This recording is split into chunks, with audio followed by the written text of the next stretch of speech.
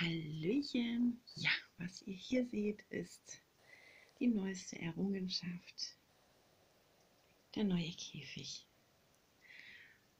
Zum einen super notwendig aufgrund einiger Gegebenheiten in den letzten Wochen, zum anderen natürlich ja auch einfach ja, ganz normal super schön für die Tiere. Ich weiß nicht, wie man das anders ausdrücken soll. Ich hatte ihn jedenfalls gesehen und ja, das ist er halt. Ne? Ist halt sehr viel größer als der andere Käfig. Auch um einiges höher. Da oben ist noch ein bisschen Chaos jetzt, weil natürlich unten der Platz jetzt gefehlt hat. Muss man sich eben ein bisschen umorientieren. Dieser Käfig besteht aus zwei Käfigen. Viele sind handwerklich begabt, können sowas selber machen. Da geht es hinunter in den zweiten Teil. Das Ganze ist ähm, mit einer Klappe verschließbar. Und zwar hatte das folgenden Hintergrund. Da wird gerade geknuspert. Wir haben ein paar Mehlwürmer. Aber ich glaube, es ist ein Stück Gurke. Schauen wir mal. Fokussieren wir auch. Damit wir das Geräusch hören. So klingt das, wenn einem eine Gurke schmeckt. Oh, oh, hallo, hallo. Verdammt, wir wurden entdeckt. Wir wurden entdeckt. okay.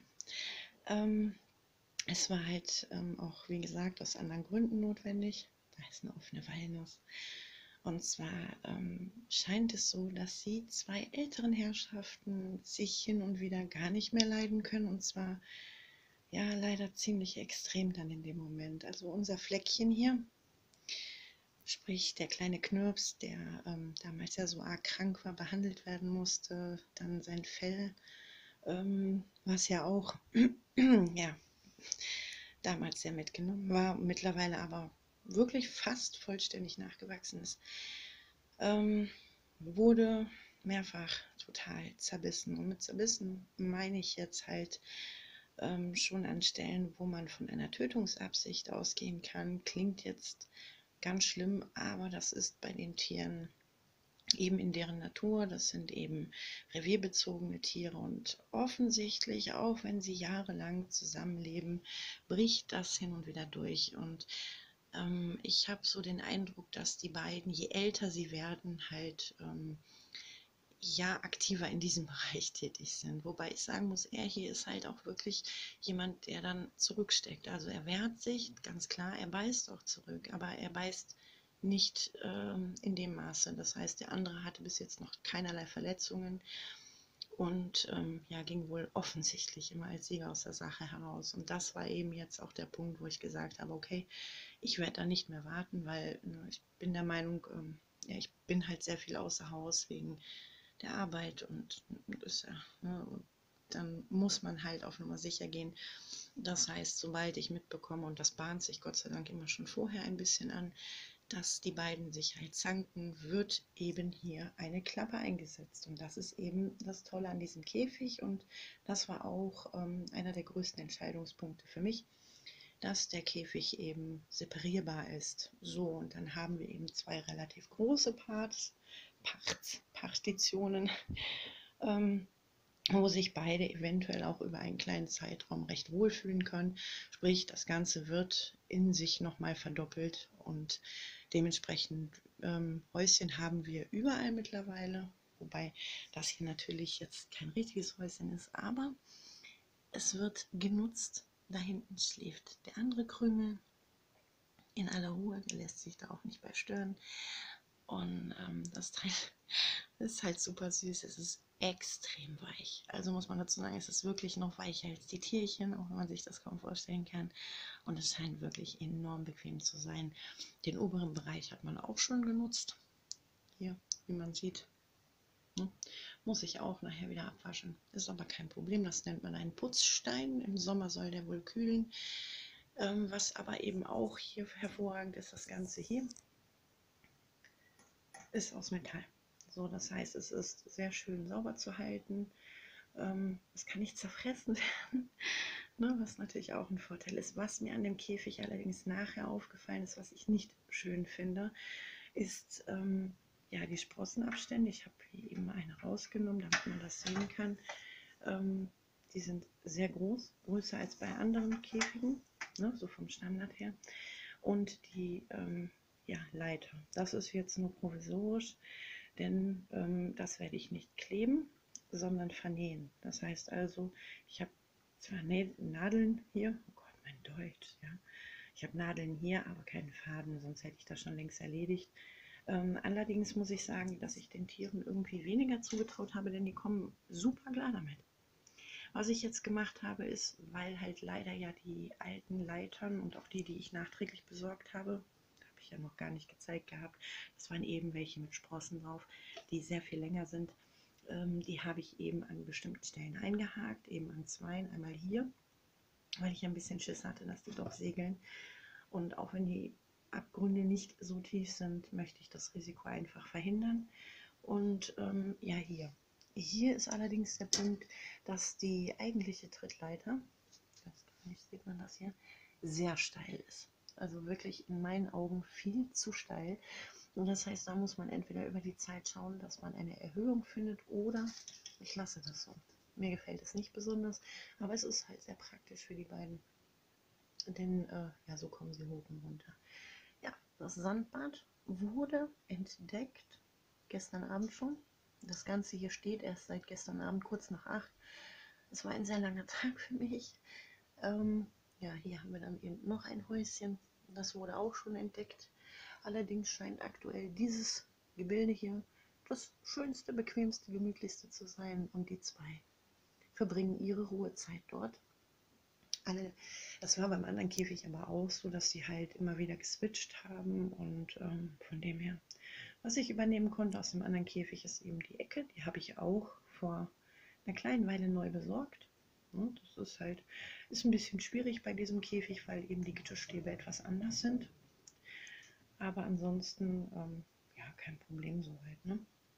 Ja, dann halt der Holzblock, den haben wir auch aus dem alten Käfig mit übernommen, nur so als Tritt, dass die beiden da halt auch überhaupt hochkommen. Die sind ja schon ein bisschen älter. In diesem Käfig muss man halt sagen, sie haben unglaublich viel mehr Bewegungsfreiheit in sich. Von dem her hoffe ich schon, dass die Klappe zum Trennen der beiden gar nicht erst so notwendig sein wird, weil sie sich eben gegebenenfalls einfach aus dem Weg gehen. Hätte ich den Käfig damals gefunden, hätte ich ihn damals schon besorgt. Bin ich ganz ehrlich, denn ich finde ihn toll. Ein bisschen blöd ist halt, du kannst hier keine normalen Regale mehr einsetzen oder Bretter mehr einsetzen, denn das ist eine klappbare Käfigtür, die mit Sicherheit nicht ursprünglich für Tiere dieser Art gedacht war. Denn ähm, ja, es ist halt ein Käfig für sich. Man muss wahrscheinlich mal, uh, das war mein Finger, hallo. Man muss halt wahrscheinlich einmal schauen. Ähm, schön ist aber, dass das Ganze einige andere Sicherungen hat. Da oben liegt noch ein Glöckchen.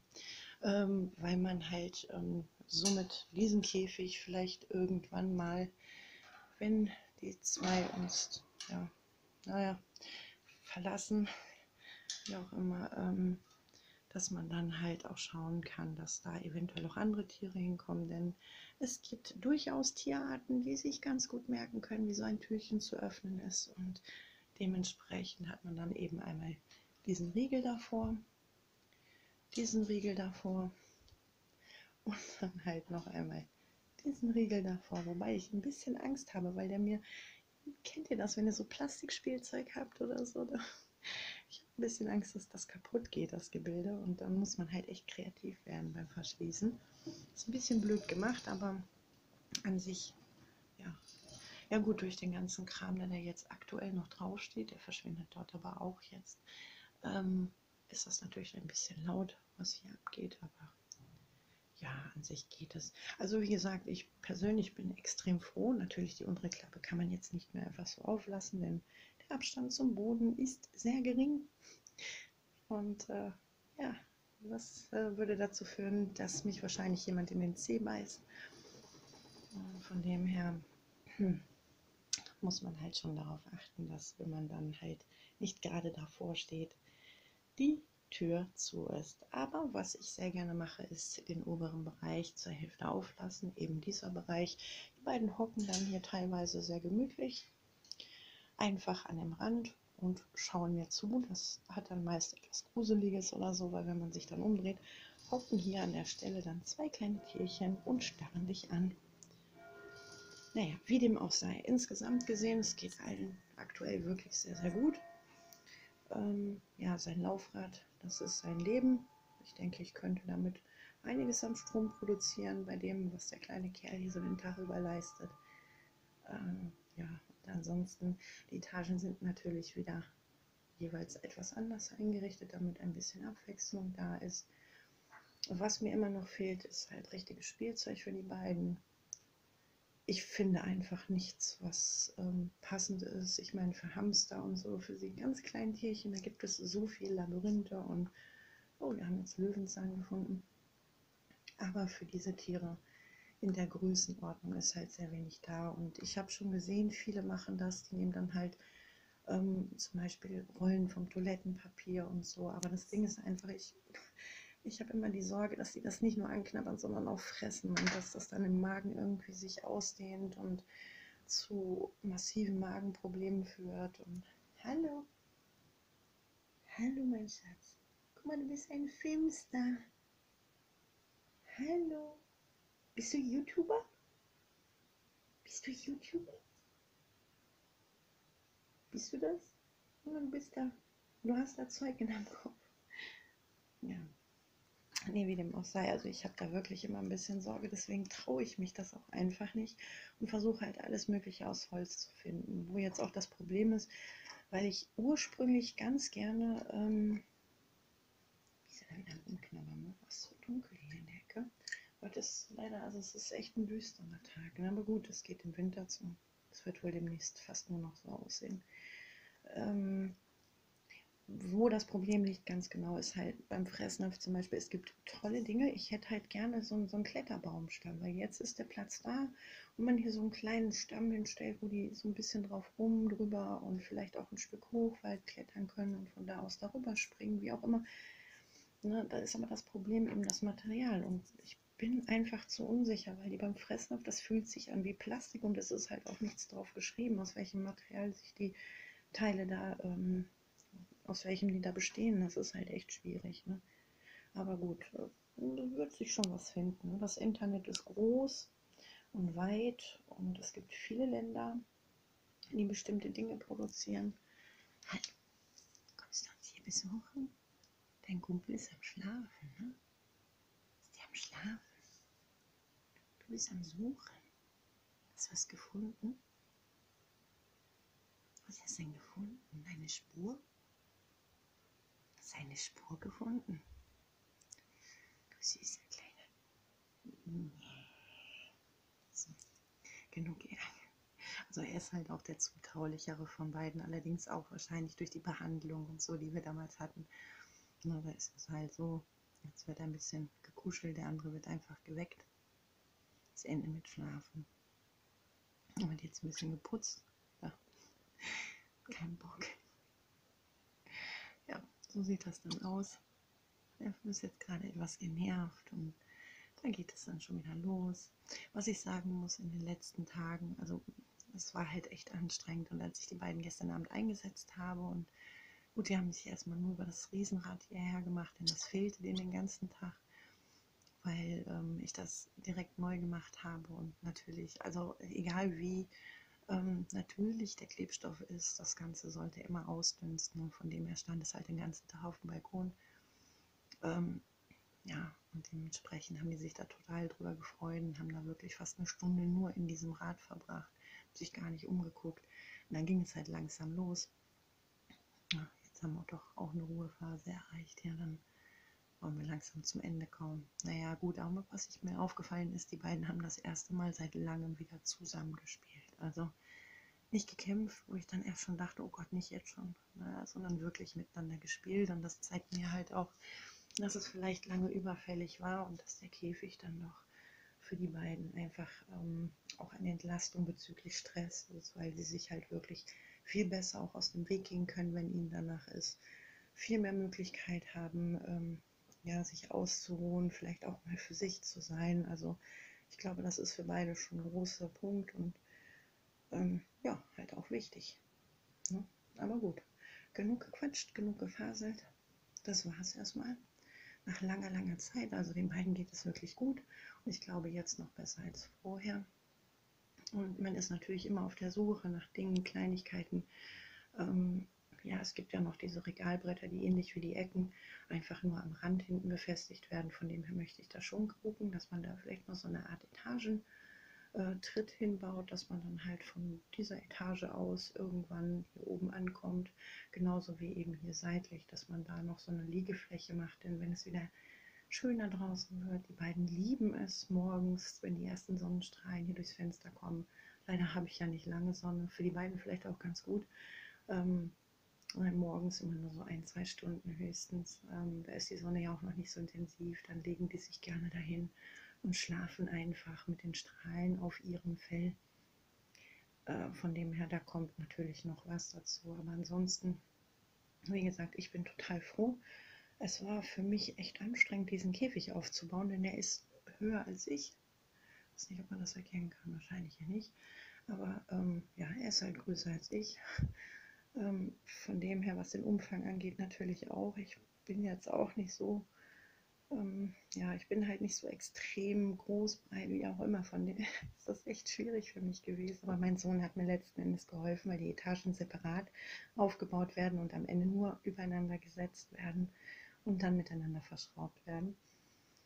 Die Anleitung, die dabei ist, ist leider auch keine große Hilfe gewesen, denn die Bilder waren teilweise so klein, dass man die Unterschiede ähm, nicht heraussehen konnte der verschiedenen Gitterstäbe. So, das ist ein bisschen schwierig zu erklären, weil man das Ganze jetzt schon aufgebaut sieht, aber die hatten andere Füße, die hatten ähm, ja andere Auflageplätze. Und das war leider aus den Unterlagen heraus nicht ersichtbar. So musste man halt wirklich auf gut Glück ein bisschen bauen. Ich musste einmal wieder umbauen. Aber an sich war das Ganze dann ja, ja relativ schnell, ist vielleicht übertrieben, denn ich habe nachdem ich von der Arbeit kam, natürlich erstmal Kleinigkeit gegessen und dann aber schon gegen, ich glaube, halb vier oder so angefangen. Das Ganze war halt wirklich erst so um halb acht, acht Uhr fertig. Ne? Und dann noch sauber machen, muss man ja auswaschen, das Ganze und äh, noch befüllen, die Teppiche zuschneiden, das alles einstellen. Natürlich, die beiden waren in ihrem alten Käfig die ganze Zeit über und da musste man ja gucken, dass man dann halt vorsichtig, wenn die beiden auf einer anderen Etage waren, vielleicht nach und nach auch schon, wie zum Beispiel das neue Häuschen, was wir geholt hatten letzte Woche, und dass wir dann halt die Sachen hier auch noch reinstellen und ähm, alles soweit fertig machen, dass die beiden danach möglichst, wenn sie hier drin sitzen, keine Störung mehr von außen haben. Was ich hier auch mache, ist halt, die beiden hatten bisher bei mir einen Trinkspender. Ähm, ich habe aber jetzt schon mehrfach gelesen, dass es besser ist für die Tiere aus einem Napf zu trinken. Also steht dort zentral, ne, die beiden halten sich sehr viel hier auf, eben ähm, ja, das Schälchen mit dem Wasser, was man dann halt auch mindestens einmal am Tag auskippt und natürlich neu befüllt. Und halt, ähm, wie immer, das sieht man jetzt gar nicht mehr, da waren noch mehr, die Gurke. Ne, die beiden futtern pro Tag ungefähr eine Gurke, wobei nicht alles gefuttert wird. Manches wird auch einfach nur durch die Gegend getragen, um es zu haben. Aber ähm, ja, darüber nehmen die beiden dann sehr viel Flüssigkeit auf und deswegen wird natürlich auch so kaum getrunken, gerade jetzt, wo es kühler ist.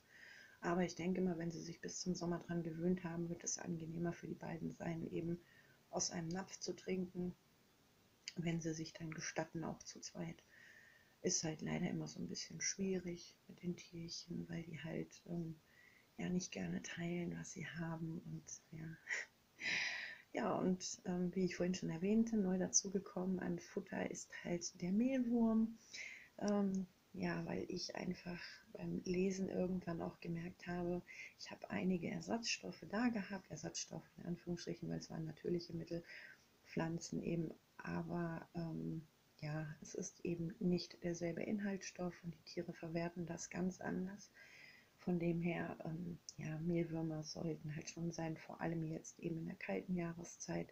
Die beiden sind sehr agil, immer noch extrem viel unterwegs. Wie gesagt, ich schätze sie eigentlich schon fast auf älter als eben fast sechs jetzt. Ähm, aber gut, ich bin da kein Profi, ich kann das schlecht entscheiden. Die haben halt mittlerweile schon viele, viele weiße und graue Stellen um die Augen herum. Das sind ja so die ersten Anzeichen dafür. Die Fötchen werden immer heller. Das Fell an sich wirkt immer heller. Und äh, von dem her, ja, man da mal ein bisschen, muss man halt ein bisschen zupacken, was die Nahrung angeht, ne? ein bisschen mehr, ein bisschen besser. Und dementsprechend habe ich einfach mal, ich weiß gar nicht mehr wie viel es war, ich habe den einmal hier oben stehen. Den habe ich ja anderweitig verwendet, weil ich die Mehlwürmer umgepackt habe. Es sind getrocknete Mehlwürmer, muss man dazu sagen. Ich wollte keine echten hier drin haben. Ähm, steht gar nicht drauf. Ähm, ja, das ist natürlich doof. Ne? Es steht halt wirklich kein Gewicht drauf. Es, ähm, ja, schade. Also ich meine, es wären zwei Kilo oder fünf Kilo gewesen. Ich glaube aber zwei, weil die sind so leicht, die Dinger, und dann sind natürlich eine ganze Menge. Also man sieht das hier nochmal. Sieht man die? Da. Die sind halt in so einer Box, die gehen auch nicht kaputt, die sind halt getrocknet. Und ja, es ist eklig, muss ich ganz ehrlich sagen. Die ersten Male hat es mich echt Überwindung gekostet. Aber wenn man weiß, dass es den Tierchen dadurch besser geht. Und so bekommen sie hin und wieder einfach mal so eine Handvoll, klingt jetzt übertrieben, weil es ist keine Handvoll natürlich, sondern ähm, ja immer mal so ein paar Stück. Das ist halt bei denen so, also der eine kannte das wohl gar nicht, der ist da auch erst nicht dran gegangen der erste Zeit. Ich lasse sie da auch in Frieden mit, wenn sie nicht wollen, wollen sie nicht. Ähm, aber wie ich immer schon sage, so man muss den Tieren das nicht zwingend dosieren, denn das tun sie selbst. So, wenn man anfängt, ihnen das wegzunehmen, beziehungsweise nur in kleinen Mengen zu geben, dann haben sie halt immer das Gefühl, oh, ich muss das jetzt fressen, weil ich weiß nicht, wann ich wieder was kriege und bevor der andere das bekommt, legt man denen aber immer mal wieder was aus, ohne als, also ohne das Ganze als Belohnung zu werten, dann bleibt es halt auch einfach mal liegen, bis irgendwann mal Lust ist, das zu futtern. Und wie gesagt, das funktioniert ganz gut. Dazu kommt, dass wir auch Erbsenflocken besorgt haben da. Ich habe auch da positive Dinge im Internet zugelesen. An die Möhrenflocken gehen die gar nicht mehr dran. Ist vielleicht auch gut so, wie gesagt. Also da habe ich unterschiedliche Berichte gesehen und gelesen, von wegen gesund, nicht gesund. Wie gesagt, da gehen die gar nicht mehr dran. Man sieht noch Walnüsse und Erd, äh, Haselnüsse, Erdnüsse fressen die beiden irgendwie nicht. Also in keinster Weise. Sie mögen auch die Schale nicht. Es ist fast so, als wären die angewidert von dem Geruch. Und auch da bekommen sie gerade jetzt im Winter so alle zwei Tage mal so ein Nüsschen, ähm, was dann durch zwei geteilt wird. Und da freuen die sich dann halt auch immer tierisch drüber. Wie gesagt, da hinten liegt halt noch so der Rest. Ich knack den dann die Schale auf und entweder fällt dann schon eh alles raus oder wenn es dann in der Schale bleibt, lege ich denen das so da rein, dass sie sich noch ein bisschen bemühen müssen, um da dran zu kommen, weil ich denke, dass das für die beiden auch ganz wichtig ist, dass sie nicht unbedingt alles nur auf dem Präsentierteller bekommen. Ne? Und das Rad halt, das ist das gleiche wie vorher auch. Ähm, da muss man halt schauen, wenn man vorhat, irgendwann mal das Ganze zu separieren, weil es zwischen den beiden vielleicht einfach überhaupt nicht mehr funkt ähm, wie man das dann macht, dann muss ich wahrscheinlich da unten ein bisschen, bisschen umstrukturieren und dann kommt da eben auch nochmal so ein Rad rein, wenn ich es denn dann hoffentlich auch nochmal bekomme. Ja, und ansonsten denke ich mal, das war es an diesem Punkt wirklich. Ich glaube, das habe ich vorhin schon gesagt. Es gibt theoretisch gar nicht so viel zu sagen. Es geht halt allen gut. Wie gesagt, ne, gerade umgezogen. Und ähm, fühlen sich sehr, sehr wohl. Wie gesagt, das war eine Zeit auch nur ein Krankenbett im Endeffekt, weil, wie gesagt, der eine hat den anderen einfach, ja, nicht ständig, aber wirklich so im Zeitraum alle zwei, drei Wochen wurde er halt gebissen und zwar wirklich so, dass die Haut oberflächlich beschädigt wurde, sprich er hat geblutet im Nacken, am Hals vorne, ne, in der Kehle, seitlich und es waren halt wirklich Bisse oder Stellen, wo man sagen muss, ganz klar, das war kein Spiel mehr, das war kein Dominanzverhalten, kein normales Dominanzverhalten, sondern das ging schon in Richtung, du bist mir hier im Weg, ich will dich hier nicht mehr haben. Und teilweise war es halt wirklich so eng, dass ähm, ja mit Absprache des Tierarztes dann wirklich schon überlegt wurde, ähm, ja, kommt er überhaupt noch mal zu Kräften, weil er dann teilweise nicht mal mehr laufen konnte und da entstand eben auch dieses Ding mit der Gurke, dass man dann halt, er hat tatsächlich nichts gefressen über drei, vier Tage. Trinken hat er total verweigert, wo man dann halt wirklich dachte, okay, er nimmt Abschied oder ich weiß nicht, wie man das nennen soll. Aber durch die Gurke halt, die hat er dann angefangen erst abzulecken, kurz drauf dann anzuknabbern und ja, innerhalb von drei, vier Stunden hockte er dann da auch. Aber das war eben so sein Rückzugsort, dieses, ja, dieser, dieser Giraffenschuh, und ähm, ja, jetzt in dem anderen Käfig sind die dann nicht von alleine so groß reingegangen. Also ja, halt schon, weil das kannte vom Ausruffaktor her, weil der andere da überhaupt nicht hin wollte. Aber jetzt hier scheint es so das Ding überhaupt zu sein und die beiden fühlen sich da drin einfach super wohl. Aktuell. Ich, wie gesagt, ich gehe davon aus, sie ziehen eh wieder um. Wahrscheinlich nach ganz oben und dann wird der ganze Käfig ruiniert, weil dann wird nämlich von hier und von hier ganz unten wieder alles ganz nach oben verlagert. Dann wird nochmal jede Menge Heu und so wird alles nach oben getragen. Und so soll es dann eben sein. Nicht wahr? Und zu Hause muss man sich ja schön machen. Gut, okay, reicht. viel zu viel geredet. Ich wünsche euch noch einen tollen Sonntag, sollte das Video heute online kommen. Wenn nicht, hoffe ich, ihr hattet einen schönen Sonntag. Wünsche euch einen tollen Start in die nächste Woche. Weihnachten rückt immer näher, denkt dran, ähm, kauft euch nicht diese Tiere oder besorgt euch nicht diese Tiere, wenn ihr nicht die Zeit und das Geld dafür habt. Denn es ist kostspielig in Anführungsstrichen, vor allem so ein Einrichtungsding wie eben so ein Käfig. Ähm, dieser hier, ich noch erwähnen, der alte hier hat, ähm, der kleinere, der hatte ja im aufgebauten Zustand beim Fressnapf 225 oder 235 Euro gekostet, damals im März damals, ist ja schon dieses Jahr gewesen. Ne? Ähm, und dieser hier hat mit dem Versand etwas über, ich glaube, 320 oder 340 Euro gekostet. Ich weiß es nicht. Ähm, ohne den Versand waren es knapp 300 Euro, meine ich. Ich meine knapp 300 Euro. Aber die Versandkosten halt, weil es ging über eine Spedition. Das ganze Teil ist massiv schwer. Das ist wirklich schwer. Es ist wie gesagt ein Metallkäfig. Und von dem her kostet das natürlich auch mehr. Es waren zwei Pakete über Amazon. Also wer da Interesse hat, der kann mal schauen. Ich komme im Moment nicht drauf, wie das Modell hieß, aber falls wirklich irgendwann irgendjemand dieses Video sieht, der Interesse an so einem Käfig hat, würde ich natürlich sofort nochmal nachschauen auf meinem Kundenkonto, wie dieser Käfig hieß. Und dann kann er sich den selbst nochmal angucken. Wie gesagt, klarer Minuspunkt sind die Stufen, die gefallen mir nicht, die sind zu kurz. Dadurch wirken sie halt so diese extreme Schräglage. Ne? Es geht hier oben noch einigermaßen. Ich meine, ich habe einiges ein bisschen abfedern können, dadurch, dass ich eben hier dann Löwenzahn und alles drunter gepackt habe.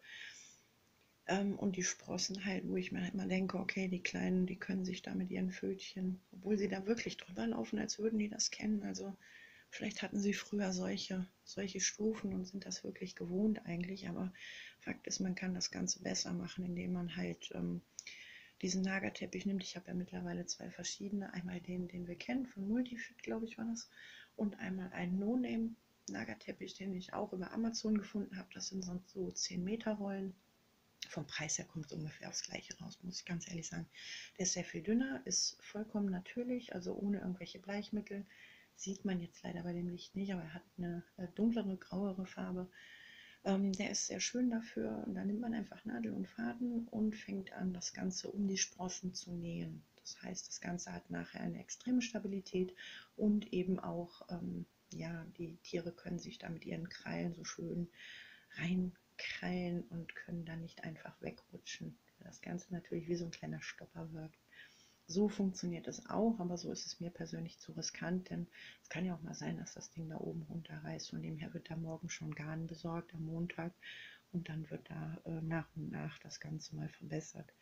Und wie gesagt, unten muss man halt schauen. Der Nachteil ist halt wirklich, dass du keine Standard äh, hier einsetzen kannst, weil eben die Löcher so weit auseinander sind, dass es nicht mehr passt. Gut.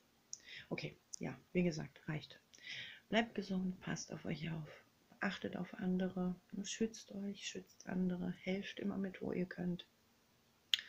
Und wir hören uns, sehen uns irgendwann demnächst wieder. Bis dann, ciao.